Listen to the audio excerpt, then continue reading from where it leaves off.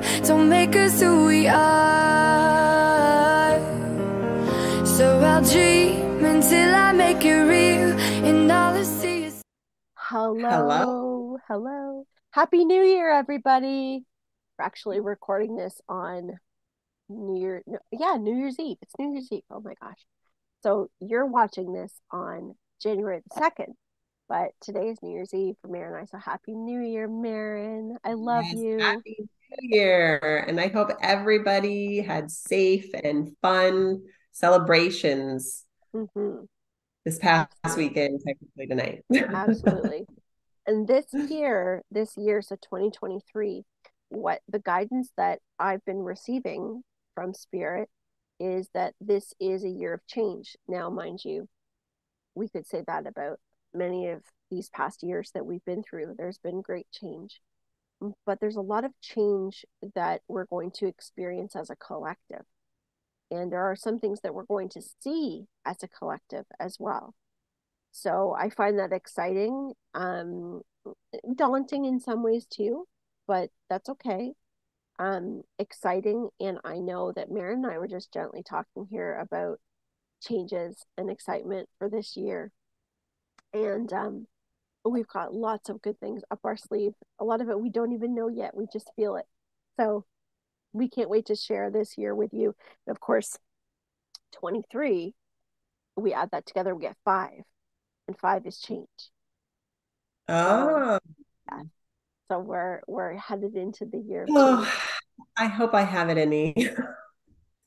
I know change can be so um I think of like I think of something I heard yesterday about how um I mean change creates momentum and like they referred to the tides and how the tides create change, they create life, they create momentum and that you know when your life is not uh, peaceful that doesn't mean that it's bad because right. life is not meant to be peaceful you have to have these tides to create this change and have this chaos it's just finding balance in the chaos yes. and um that's hard it is so i hope i have it, it is. in it is but you know um and eric's just correcting me right now because he's saying he goes "No, now michelle he goes, Did you have to say it's hard? He goes, You can acknowledge that it's challenging, but he says, Also remember that as you grow, as your vibration expands, it becomes easier to find the calmness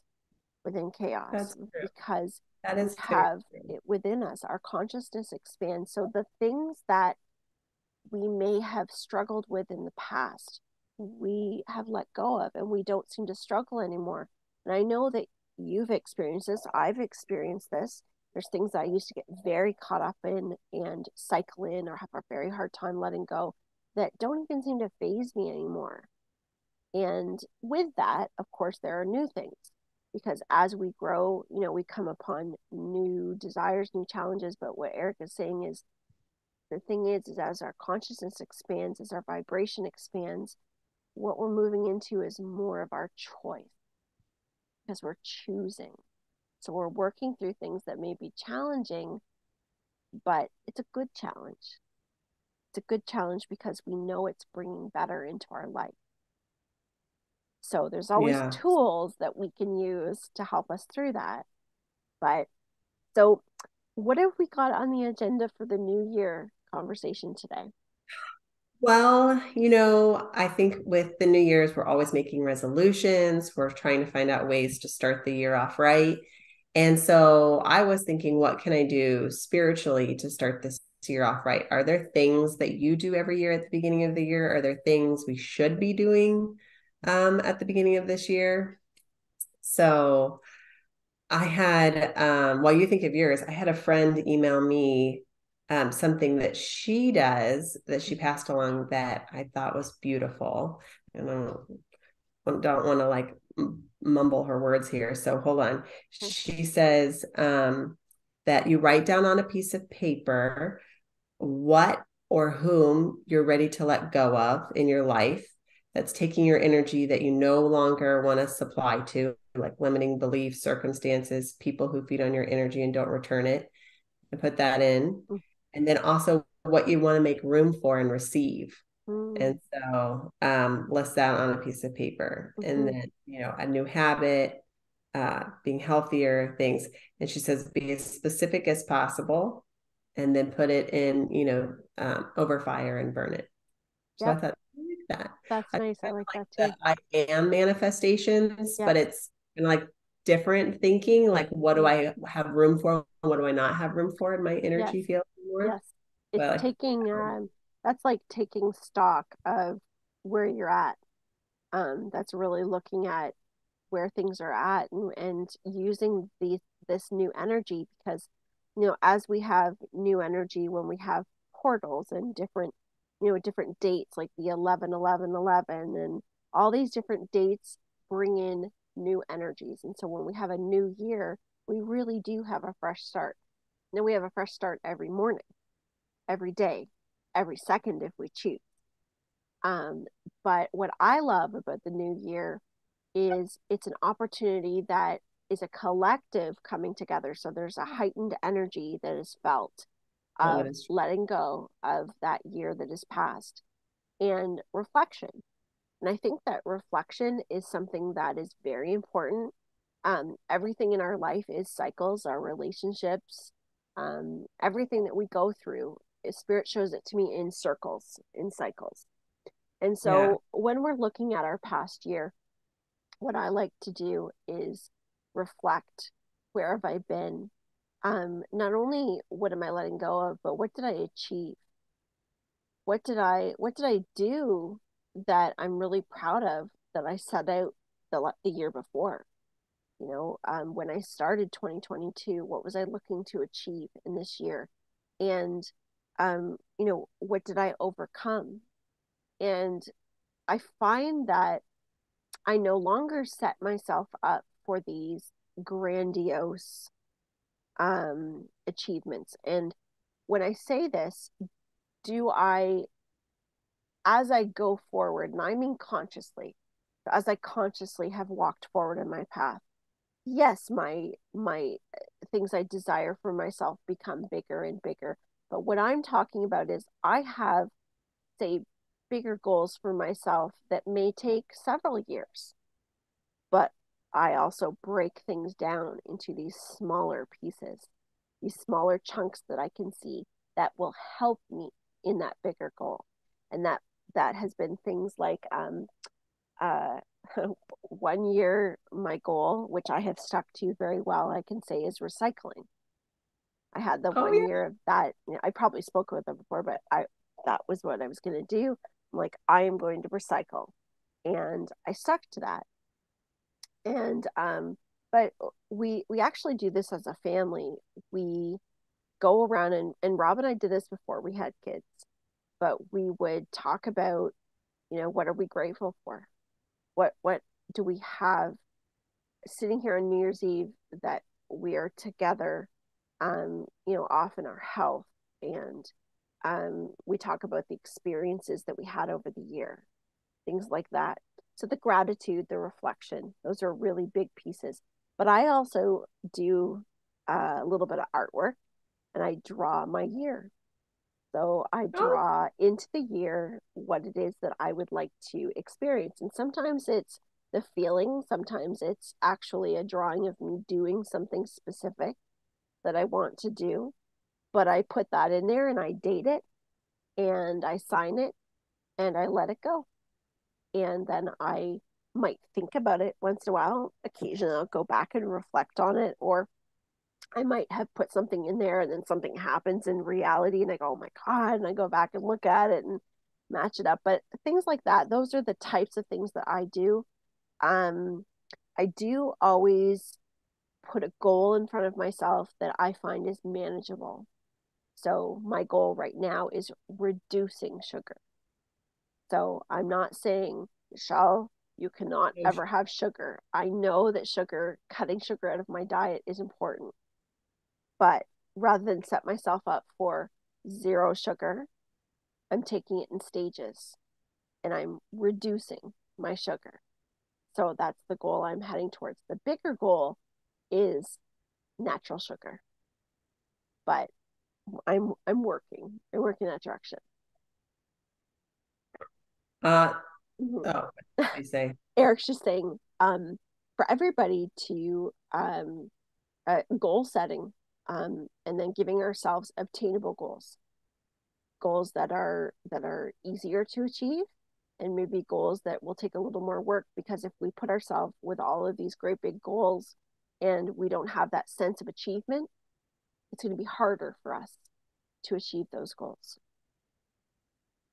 Um, that reminded me of um, such a big thought, and you passed like we passed by. So let me think about it. Uh, it reminded me of I was sitting here and you were talking about this, and I just thought, gosh, I am so glad that we're talking about this today. I feel so grounded before we go off. We're shooting fireworks off and hanging out with friends tonight, and Yeah. I just thought. I feel so grounded talking about this, like my future, and it really grounds me. It really makes me feel really good to like talk about my goals before this new year. And then it made me think about something you said how it doesn't have to be every year. It can be every morning, every second, every whatever, you know? And so I think when I think about my goal, I'm really trying to live a conscious life, being, you know, in the present moment and um, having maybe a moment in time where I just think, what are my intentions for today? Which would be like that small goal setting that you're talking about. You know, what are my intentions just for today? Um, I think I talked to you, I don't know, on air, off air, a week ago, a month ago. I'm not really Yeah. sure. But Yeah. I told you that finding time to meditate has been so hard um, because like I feel like I need to be like in this total zen moment, you know, and it's like I might only have five to 10 minutes driving between, you know, picking kids up from this and Right. dropping them off at that or cooking dinner or whatever. And so maybe that was like too big of a goal. And maybe I just need to just find a moment, take three breaths and say, Yeah. what is my goal for today? Yeah. And I think that's like super manageable that I could do that like while putting my makeup on for Yes. um work or something like that. Yeah. Or Eric just gave me a visual that I'm not going to say. Um, I know exactly. on the what he toilet. I know exactly what he showed you because that's what he says to me too. That's exactly what he says. And and my friend Helena that I do healing with, he's given her the exact same advice. So I know what you're talking about. Oh, it's funny. Yeah. So there's good advice. Um, but anyways, yeah, like just being more conscious by setting small goals and what's my goal for today. So Yeah.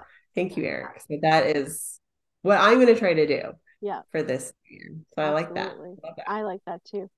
Um, I was thinking that we could pull a couple cards for all those that are watching to see Okay. what what is coming up in the new year. Um, so as we do this, when we're pulling cards for a group, and it's not like a um, I don't know if anybody ever watches the pick card readings where you like people put up on YouTube, they've got YouTube channels that is like pick deck one, pick deck two, pick three. What I'm going to do is I'm going to draw a card for the collective and we'll see what comes out of it. Take what resonates, leave what doesn't. But in one way or another, something should apply to you. Um, I feel very drawn to doing this. So we'll see. We'll see what comes out. Now, is this for the coming year or this is lessons learned from last year or what? Well, let's do both. Let's do both. Okay. Let's do both and see. Um, okay, let's do lessons. So, okay, we'll we'll pick out three. Okay. Um, so everybody, as you're watching right now, I want you to envision in your mind whether you would like, whether you feel called to card one, card two, or card three. Okay. So I'm gonna pull card one right now. So this is uh lessons Worth- achieved. Hmm? Sorry, we have to have that number in our head right now, or are you going to show us the backs of the cards and then we're picking the card? Well, I'm gonna say, um, okay, so there's three cards coming out. So Okay. think in your mind which card will be for you. Will it be card one? Will it be card Okay. two? Or will it be card three? Now, Okay. You might be it. saying card one's gonna be for me, but if you find that card two applies more to you, then go with Okay. card two. Okay. Okay. Well, here's card number one lessons learned from last year or from 2022. Relationships card number one relationship. So what this card says is I am attracted to those people who serve my highest good. And so this would be exactly what you were just saying from your friend Maren that said, you know, I'm looking at the people in my life are there people in my life that maybe um, are no longer good for me? Am I maybe in relationships of any type that need to change? Um, you know, have I learned about the relationship that I'm in, the relationship with myself, the relationship with spirit, the relationship with my job, you know, the relationship with nature, with my pet, with my children. There's so many different types that we could go at. So, you know, congratulations to you if this was a lesson learned for you in 2022. So, card number two for 2022. Drum roll, please. Okay. So here we I'm go. I'm nervous because I number this two. was my. Is yours? Okay. failure. hey, now listen, listen. So, yeah, so this is this is a good thing though. This is a lesson. So I understand that a mistake is truly an opportunity to learn. That failure, there is no failure. That failure is a word that we associate as something negative, but it's not failure. What it is is it's attempting, it's growth that we go through experiences to learn so that we understand deeper about ourselves and about our situations. How else can we grow and decide and understand what it is that we desire and want unless we go through these opportunities or these situations in one way or another? So it's taking this word and changing the understanding of it. And that is that's, a very powerful lesson. Yeah that's i wouldn't say my last last year was a failure. I would say that every reading i had an opportunity to be faced with oh my gosh if i don't you know if I'm, what if i fail you yes. know? And it's so intimidating. And then yes. there is such thing as failing because everything's a lesson yes. And and that's and that goes with the what we've said before. Nothing is happening to me it's happening for me. And oh and, yeah. and really the um you know the, the true meaning of that is trust trusting in the experiences and trusting that um you know it's okay to feel like you know maybe we didn't do something to the degree that we wanted to or maybe didn't have the outcome that we thought it would have but can we look at maybe my expectations are there that maybe I'm I'm hard on myself. Maybe I'm being hard yeah. on myself. Maybe I'm being way harder on myself than I am to other people. And maybe I think there's expectations of me that truly aren't there. You know, so mm-hmm. it's really being able to let go of those things and be okay. So card number three, we have guilt. The lesson of guilt. So guilt is I release any beliefs that no longer assist in my soul's growth. And so this is something that um, this is a challenging one for a lot of us to let go of, which is guilt. And sometimes guilt is something that we've done that we maybe regret. Maybe we feel that, you know, we shouldn't have done this. Um, sometimes it's feelings of what we thought we should have done.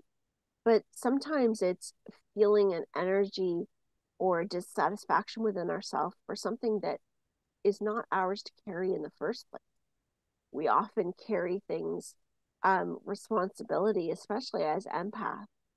We carry a responsibility that says, you know, I am responsible for this person. I am responsible for this other person's feelings. I am responsible for what I think I should have done that I didn't. And oftentimes it's the discernment of what is mine? What is my responsibility? what is not my responsibility. So if that's something you've worked through, know that the pulling of these cards means you successfully learned these things in this year. This is not saying that you still have this. You've learned these things. So congratulations. So for the coming year, I will pull a card. And I'm going to pull, um, I'm going to quickly pull three cards again. I'm going to do it like this. One.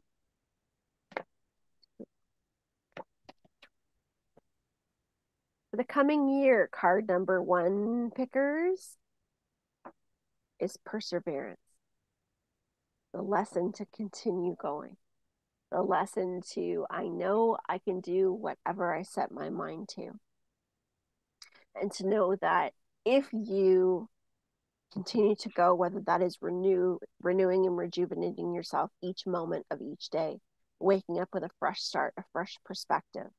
No matter what happens, if you're able to set one foot in front of the other, and some days are just going to be days where you might need to go back to bed, and that's okay. But as long as at the end of it, you keep going forward, perseverance will always get you to where you need to go. So that was my card. And that's very funny that my comment was like, I don't know if I can deal with the change. perseverance. Worry. The lesson of worry for number two. So, worry, I am learning that worry does not change an outcome. Worry, now, this is, I always find this very interesting. Worry is um, when we feel fear or concern of an outcome, it comes from being attached to an outcome that we want to go a certain way and where there's fear that it will happen in a way where we feel we cannot make it happen or we're attached to it happening in a way that doesn't bring pain because worry is what we connect ourselves to to avoid pain to avoid discomfort to avoid emotional upset and so worry is also an um, something that we attach ourselves to that makes us feel like we're doing something. So if I worry, then I feel like I'm I'm helping this outcome. I feel like if I worry hard enough, it's not going to happen. But in t- in turn, when I worry, what I'm doing is I'm continuously going over the outcome that I don't want, which in physics and in universal law is actually drawing that experience towards you. So yes. when your worries occur, you know, you want to look at that and say, now, is there something I can actually do about this right now? Do I have anything within my control that I can change this? If it's no, then that's when you go to the practice of being let letting go of the outcome. And you know, there's many tools that we've talked about before that you can use to help to go through that. If there's something you can do, do it. But worry itself, by going over things and over things and over things, you're never going to get the answer for it. If you let go, if you don't have an answer to something, if you let go of it and you work on your vibration, sometimes you need a nap. Sometimes it's getting your mind off of it. Sometimes it's the actual acceptance that, yes, this is a possibility. Yes, this could happen. But there's nothing I can do right now to change that outcome. So what I'm going to do is I'm going to hand it up to my angels, to the spirit, and I'm going to ask them to help bring me peace. I'm going to choose peace in this moment because I know by doing that, the answers that I need will come at the right time. So there's something that you can do because worry will do nothing but create more worry for you. And number three, indecision, which is a big lesson here. I use my intuition in all aspects of life. So, indecision is really when we're not grounded and actually goes back to worry. When we try to figure something out and we're like, well, do I do this or do I do this? I don't know if hmm. this is right the right decision or this is. There's a temptation for people to go around and ask everybody, what's your opinion? What do you think I should do? What do you think I should do? and that usually ends up creating more um, confusion and more of a, I now I really don't know what to do because we can get so much in our mind that mm-hmm. We make ourselves tired and exhausted and it becomes bigger than what we need it to be.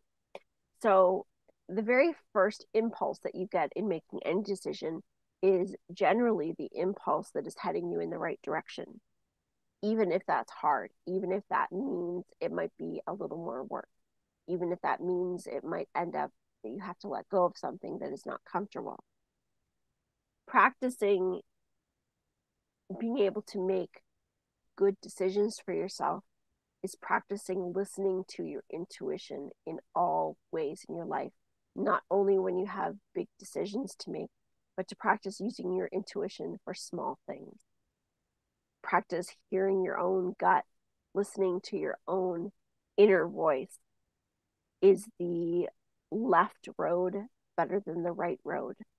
Is this box of cereal healthier than this box of cereal? It's asking yourself questions, asking your inner self questions, and practicing that intuition. And, you know, the one thing that can be, um, and I, and I find this with teaching a lot, is that there's a habit that happens with many people and and this is part of why Maren and I do this as well is that we can look at other people that are intuitively reading and connecting with spirit and there's like this expectation that I need it to look this way for it to be successful and that can create an impatience of working with our intuition and wanting it to just be from here to here, wanting it to be, um, well, if I don't hear it loud enough, then it's too hard. I can't do it.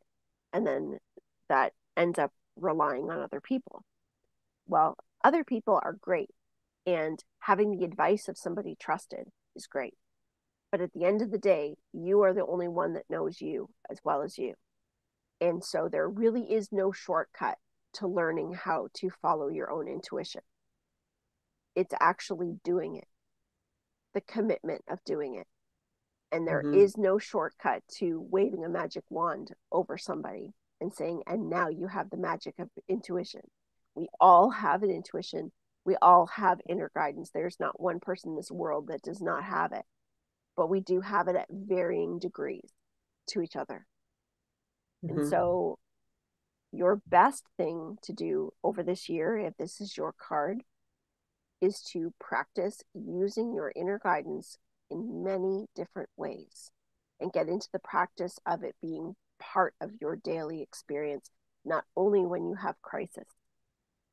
Because if you're using your intuition or trying to use it when you're only in crisis, you're not going to hear it clear enough because your mind is going to be louder than what your intuition is. So you want to build that muscle on a regular basis. And then you'll find when situations come up that are a bit more challenging, you're going to have a, a, a easier time hearing that intuitive voice. You're going to have an easier time feeling it because it doesn't go backwards, it only grows bigger. So, and there we that. go. Yeah. So, thank you, Michelle. Well, thank you. I'm I'm so happy, Maren, to have another year and to be going into 2023 with you and all the things I know that we're going to do. And thank you everybody for joining us and being on this journey with us. We're so excited to see where this takes us. Um, I do feel that we're going to be having some guests join us at some point in this year. And um, we're going to do some more exciting things. And um, we hope and wish for you to have a safe, happy, and healthy new year. And we will see you again next Monday. Sounds good. Thank you, everyone, so much. Thanks, happy everybody. Happy New Year. Love you.